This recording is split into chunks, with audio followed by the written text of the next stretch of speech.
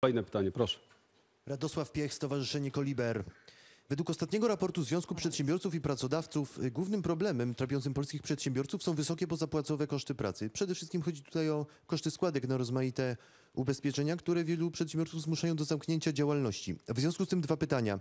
Pierwsza, pierwsze krótsze.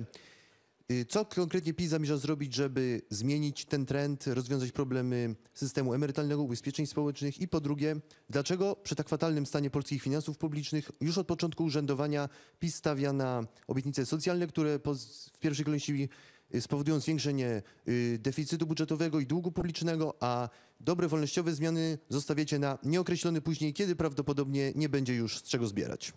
Przede wszystkim nie socjalne, tylko realizujemy, jak już o tym mówiłam, że nie traktujemy program 500 Plus jako pomoc społeczna, jako działania socjalne, tylko, tylko e, ewidentną inwestycję w rodzinę, co z czasem będzie przynosiło wymierne korzyści e, dla państwa polskiego.